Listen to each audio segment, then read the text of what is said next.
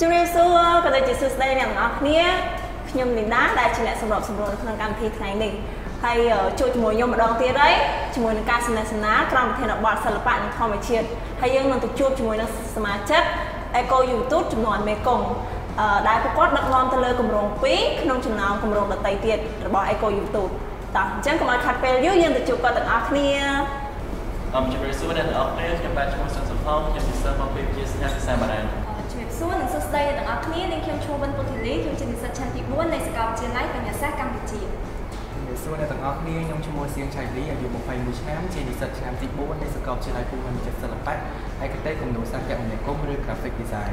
ជំរាបសួរសួស្តីអ្នកទាំងអស់គ្នាខ្ញុំឈ្មោះទេម៉ាលីណាមកពីសាកលវិទ្យាល័យភូមិន្ទចិត្តសិល្បៈផ្នែកគំនូរសាស្ត្រគមនាគមន៍ឆ្នាំទី4ចាហ្នឹងហើយអរគុណអញ្ចឹងចង់ដឹងពីខាងបងឆៃលីហើយនិងខាងសខំវិញជួយរៀបរាប់ពីគម្រោងនិងប្រាប់ពីគោលបំណងនៃគម្រោងនោះតិចបានទេ គម្រោងរបស់ពួកខ្ញុំមានឈ្មោះថា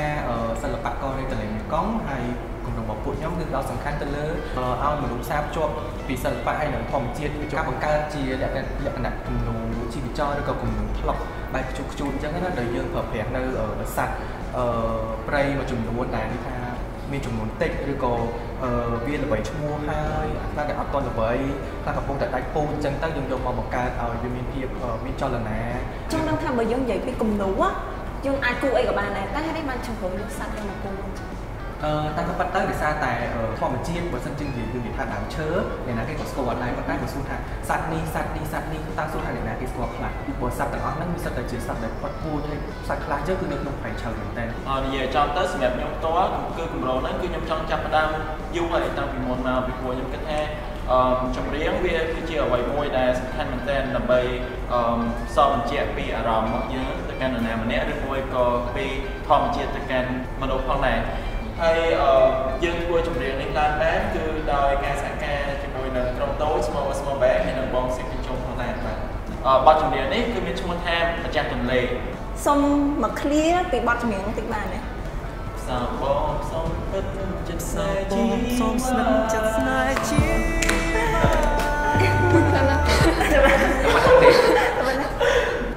ត្រឡប់មកកាន់បងពុទ្ធរីហើយនឹងម៉ាលីណាវិញឃើញថាយើងធ្វើជំនាញផងយើងធ្វើជាគំនូផងអីចឹងណាចឹងចង់ដឹងពីថាចង់ដឹងថាយើងមានផលវិបាកអីគេខ្លះក្នុងពេលធ្វើគម្រោងនេះចឹងអទី1គឺទៅលើពេលវេលាដោយសារតែយើងត្រូវណាត់ជួបប្រជុំជាមួយនឹងសិល្បករក៏ដូចជាសមាជិកក្រុមហើយចឹងទៅយើងជាប់ជាប់រវល់ជាមួយនឹងការសិក្សាទាំងអស់គ្នាចឹងហើយវារៀងពិបាកក្នុងការ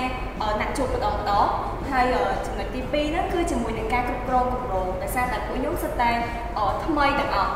អត់ដែលធ្វើការទៅលើគម្រោងអីផ្សេងផ្សេងនេះចឹងហើយធ្វើឲ្យមានភាពយឺតយូរឬក៏ខ្វះខាតចន្លោះបន្តិចបន្តួចអឺដូចគ្នាជាមួយនឹងពួកគាត់ដែរខាងខ្ញុំក៏ជានិស្សិតដូចគ្នាអញ្ចឹងណាអញ្ចឹងទៅពេលពិបាករកពេលជួបគ្នាពិបាករកពេលជួបគ្នាហើយគម្រោងមួយមួយសัตว์មួយមួយហ្នឹងត្រូវចំណាយពេល research ពីចំណុចសំខាន់និងតម្លៃរបស់សัตว์ហ្នឹងដើម្បីយកមកបង្ហាញ display ឲ្យគេដឹងអញ្ចឹងណាចា៎ចា៎ហើយណាមួយការឆ្លងកាត់ការធ្វើហ្នឹងក៏មិនងាយស្រួលណាយើងគ្រប់គ្នាបានព្រៀងដែរឆ្លងកាត់លើការ scan ឆ្លងកាត់លើការឆ្លងម្ដងហើយខុសពណ៌ឬក៏ខុសទម្រង់អញ្ចឹងទៅយើងធ្វើការកែសម្រួលច្រើនហើយណាមួយពួកគាត់សិតតែថ្មីថ្មីសិតតែជានិស្សិតនិស្សិតឆ្នាំទី3ឆ្នាំទី4អញ្ចឹងទៅជាប់នឹងការងារសិតតែខ្លាំងមែនតើគំនូរសិល្បៈហ្នឹងអាចមានទំនាក់ទំនង មិនដែររវាងសិល្បៈនិងធម្មជាតិសត្វឆ្កែសត្វឆ្មាឬក៏សត្វគោសត្វក្របីអញ្ចឹងទៅយើងនៅសុខស្រួលអញ្ចឹងយើងឃើញយើងគិតថាស្រឡាញ់សត្វទាំងអស់ហ្នឹងមែនតើហើយដោយសារយើងឃើញញឹកញាប់អញ្ចឹងបើសិនជាយើងឃើញសត្វព្រៃទាំងអស់ហ្នឹងញឹកញាប់នៅក្នុងគម្រោងមួយដែលស្រស់ស្អាតអញ្ចឹងទៅគ្មានការថាធ្វើឲ្យអាក្រក់លើសត្វហ្នឹងចឹងទៅយើងចាប់តាមស្រឡាញ់មនុស្សយើងជាផ្នែកមួយនៃធម្មជាតិហើយសិល្បៈក៏ជាផ្នែកមួយនៃមនុស្សយើងដែរយើងមិនអាចកំណត់ដល់មានសិល្បៈបានទេ សិល្បៈក៏ជាផ្នែកមួយដែលនាំអារម្មណ៍យើងឲ្យសប្បាយរីករាយឲ្យមានគួរអារម្មណ៍អញ្ចឹងទៅអញ្ចឹងត្រឡប់មកកាន់ខាងក្រុមចម្រៀងវិញដោយសារតែឥឡូវយើងឃើញថាយុវជនឥឡូវគាត់ចូលចិត្តបទចម្រៀងច្រើនអញ្ចឹងណាអញ្ចឹងចង់ដឹងពីខាងកម្រងចម្រៀងវិញតើទាំងពីរអ្នកគិតថាបទចម្រៀងអាចចូលរួមផ្សព្វផ្សាយទៅលើបរិស្ថានបានទៅលើចំណុចណាខ្លះដែរនៅក្នុងកម្រងចម្រៀងរបស់ពួកយើងនេះគឺពួកយើងសិក្សានិងពិភាក្សាជាមួយនឹង artist របស់សិល្បករហ្នឹងជាច្រើនដើម្បីផ្សារភ្ជាប់ជាមួយនឹងធម្មជាតិហើយនឹងសេចក្តីស្រឡាញ់ណាច្បាច់បញ្ចូលគ្នាហើយអ្វីដែលសំខាន់គឺសេចក្តីស្រឡាញ់រវាងផ្សោតជាមួយនឹងមនុស្សដែលវាជាភពពីរផ្សេងគ្នាអត់អាចនៅមួយគ្នាបានចាហ្នឹងហើយនៅក្នុងក្រុមយើងគឺដំណាក់កាលទី1យើងនៅដំណាក់ផលិតចេញជាជំនាញសិនអញ្ចឹងដើម្បីញ៉ាំបរិយាកាសហ្នឹងឲ្យសុបាយ ខ្ញុំអត់តន់សួរសំណួរទៅទៀតទេព្រោះយើងមានពីរសំណួរទៀតតែមុននឹងតទៅទៀតខ្ញុំនាំពួកគាត់ទាំងអស់គ្នាទៅលេងហ្គេមហើយហ្គេមសុបាយតោះទៅទាំងអស់គ្នាដូចដែលបានឃើញអញ្ចឹងគឺយើងមានកណ្ដាលខៀន2ហើយតម្រូវឲ្យមានអ្នកគូហើយនិងអ្នកទាយអញ្ចឹងអ្នកទាយគឺត្រូវនឹកគិតថាយើងទាយបែបលក្ខណៈជា clear មិនមែនជាពាក្យអីទេចាហ្នឹងហើយអញ្ចឹងហ្នឹងអញ្ចឹងអឺអ្នកទាយមានរយៈពេលទាយគឺ12នាទីហើយកំឡុងពេលដែលគាត់កំពុងគូហ្នឹងគឺសំបាយមកចាញ់ចាហេតា1 2 3 ម៉ែអូនណាគួយស្រួលស្រួលតិចណាទៀតថើទេឥ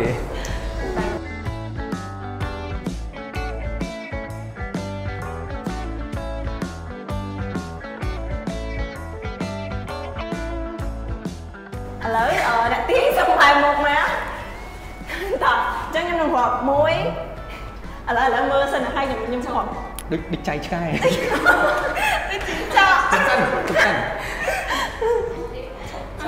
1 2 3បងផ្សោតមើលថ្ងៃ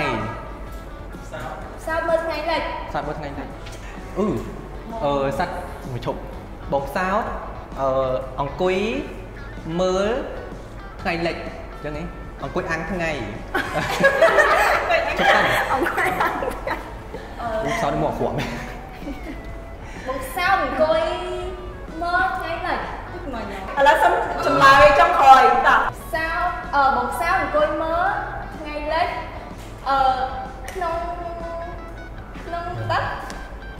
អញ្ចឹងបងសោតអង្គុយមើលថ្ងៃលិចក្នុងទឹកតោះអឺខាងបងឆៃទៅអឺបងផ្សោតអង្គុយឈរអង្គុយ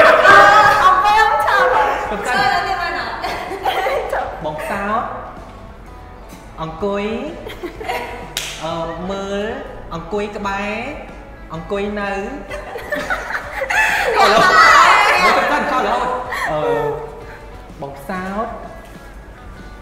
អង្គុយ ở hai rồi còn đâu mà អត់ទេគេ mà chúng ta ăn miếng ăn miếng ăn miếng đi mắm bảy gì bảy bảy bảy nói Xong phim mà final. à lợi final ở bột sáo hòn cùi cái bài tập chúa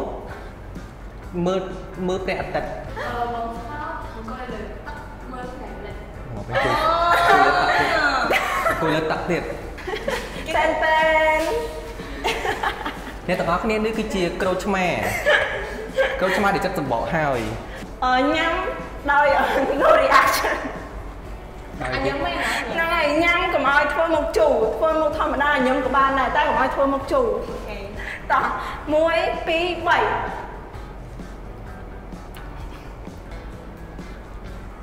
3 ừ, là phải ai mà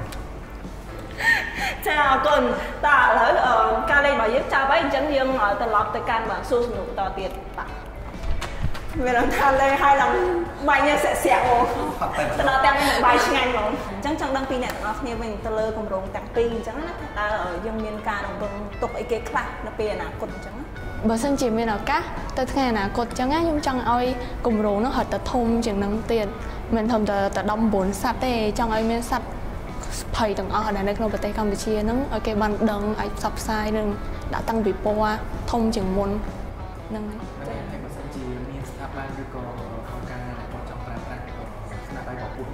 ដើម្បីផ្សព្វផ្សាយផ្សេងៗដូចជាការអស់រអាមកលើកម្ពុជាឬក៏ផ្សព្វផ្សាយជាកម្មវិធីធំធំផ្សេងៗគឺអាចទំនាក់ទំនងមកគេហទំព័ររបស់ Eco YouTube កម្ពុជាបានដើម្បីដឹងព័ត៌មានផ្សេងៗទៅដែរអឺសម្រាប់គម្រោងបទចម្រៀងផងដែរអឺពួកយើងផលិតបទចម្រៀងនេះជា6ភាសាផ្សេងគ្នាទៅតាមប្រទេសដែលនៅអឺតាមដងទន្លេមេគង្គចង់ដឹងពីអឺទាំងអស់គ្នាវិញថាតើមានសំណុំពរអីគេចង់ឆ្លើយ តាមរយៈគម្រោងរបស់យើងអញ្ចឹងក្រុមរបស់ពួកខ្ញុំគឺពួកខ្ញុំអឺសូមឲ្យប្រជាពលរដ្ឋខ្មែរទាំងអស់អឺមិនថាទាំងទាំងក្មេងទាំងចាស់ឬក៏ទាំងប្រុសទាំងស្រីគឺចាប់ផ្ដើមរកគ្នាស្រឡាញ់បរិស្ថានឡើងអឺចាប់ផ្ដើមគ្រប់គ្រងនៅស្នាដៃសិល្បករខ្មែរថ្មីថ្មីៗផងដោយសារពួកគាត់អឺថ្មីថ្មីៗមែនប៉ុន្តែពួកគាត់មានសមត្ថភាពខ្ពស់មែនតើសត្វដែលយើងឃើញផុតពូជហើយហ្នឹងណាមុនពេលដែលផុតពូជទៅមិននៅសបោឡើយទៅទេប៉ុន្តែដោយសារតើទោះសត្វហ្នឹងសបោបើសិនជាយើងអត់ថែរក្សាទេ វានឹងអាចបាត់បង់ទៅគឺខ្ញុំសង្ឃឹមថាយុវជននឹងចូលរួមគ្រប់គ្រងនៅបទចម្រៀងម្ចាស់ទន្លេ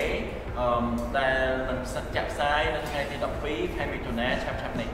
អរគុណសម្រាប់ក្នុងការបង្ហាញពីស្នាដៃក៏ដូចជាបទពិសោធន៍នានាទាក់ទងទៅនឹងគម្រោងចានឹងហើយខាងមុខហ្នឹងយើងនឹងធ្វើការចេញផ្សាយលើបទចម្រៀងមួយគឺម្ចាស់ទន្លេចាអញ្ចឹងកុំភ្លេចតាមដានទស្សនាទាំងអស់គ្នា